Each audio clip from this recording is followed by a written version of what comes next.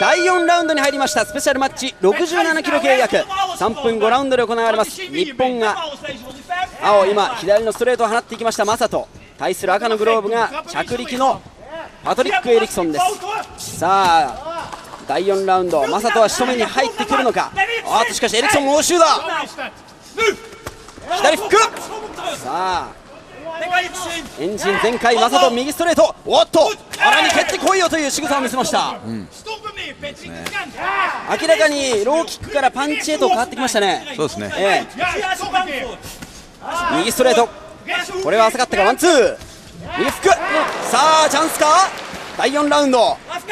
さあガードが下がってきた。エリクソン疲れてか。鈴木さん、正人陣営、ゴーサイン出てますよ、このラウンドでという指示です。もはや第4ラウンド、このラウンドで勝負は決するのか、さあ、右のローキック、魔裟斗、右のロー、ロー、ロー効いてますね。足が細いと言っていたその魔裟斗、ローキックから試合を組み立てています、右のロー、明らかに嫌がってますね、ローキックをね。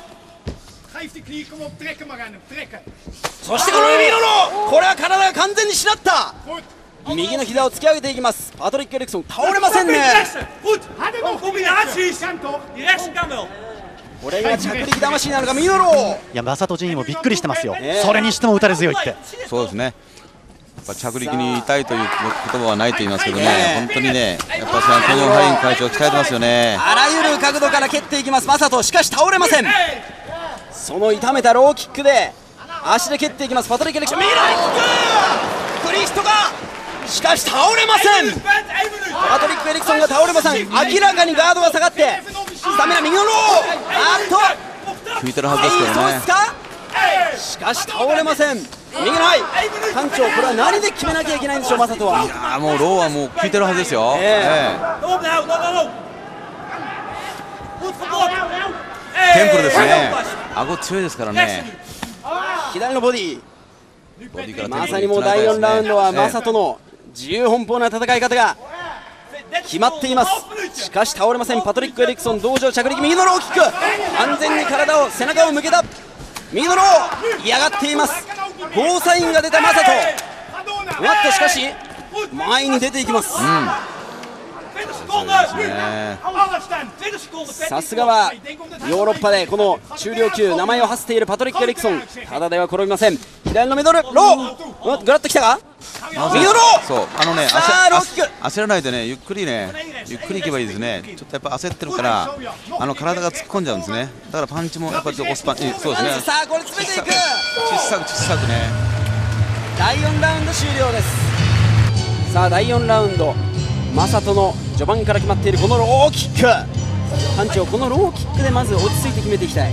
そうですね、はい、ただねあのハイキックですね、パンチそしてキックは決まっているんですが倒れませんパト。リック・エレクソンちょっと浅いんですよね。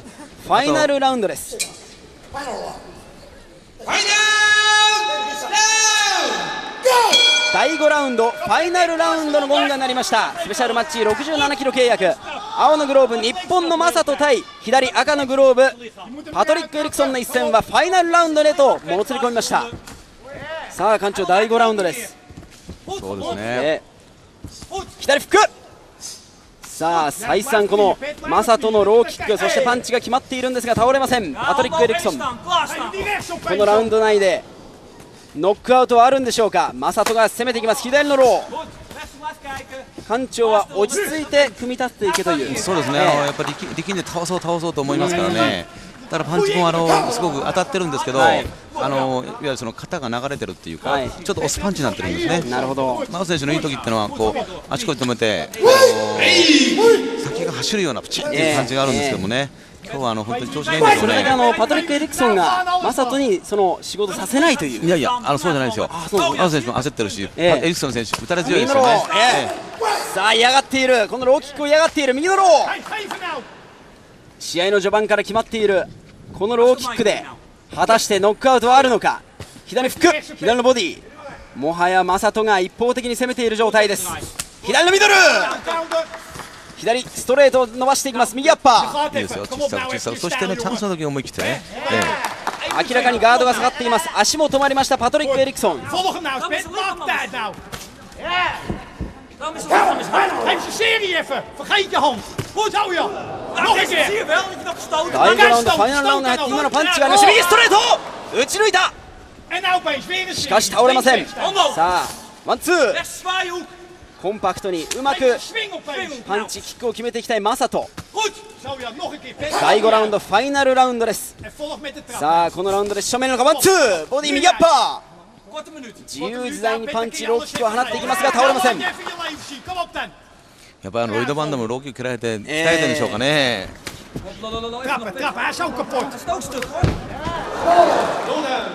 これはスリップ？明らかに消えています。さあしかし第5ラウンドファイナルラウンド残り少なくなってきました。マ人がノックアウトでしとめるのか？ワンツー第1ラウンドから優勢に試合を進めている魔裟斗ですが決定打。ありません右.しかしこれも浅いか左フックムラッドサリをノックアウトした左フック炸裂。さあ距離を取って詰めていく。ワンツーから右。左。右アッパー。さあ.最後のラッシュだ。魔裟斗詰めていきます。右ハイ。これは中央を切りました。さあ残りがわずか。ファイナルラウンドです Alles, Pit. マサト右左フックは炸裂するのか左右詰めていくボディ。第5ラウンドファイナルラウンドが終了しました。そうです。ね勝負は判定に入ります。ジャッジの結果を発表いたします。ジャッジ石間光雄。さあ判定です。50対46青コーナーマサトまずはマサトが1票。ジャッジ田畑康夫50対46青コーナーマサトジャッジマサト二票目50対46青コーナーマサト3対0 3対0で青コーナー見事マサトが勝利を収めました圧勝ですけどね、え。え判定では勝そうですね。倒せなかったのがね残念だと思いますけど本人もこうちょっとノックアウトできなかったかなという表情をしておりますノックアウトできなかった理由館長どこにあるんでしょう？いやいやあのバディ選手がやっぱ打たれ強いということ。やっぱりはい。攻撃をよく見てますね、ええ。あのやっぱあの見えてる攻撃っていうのはやっぱなかなか倒れませんからね、はい。ええ。やっぱよく練習してるっていうことですよね。それとやっぱ打たれ強いということ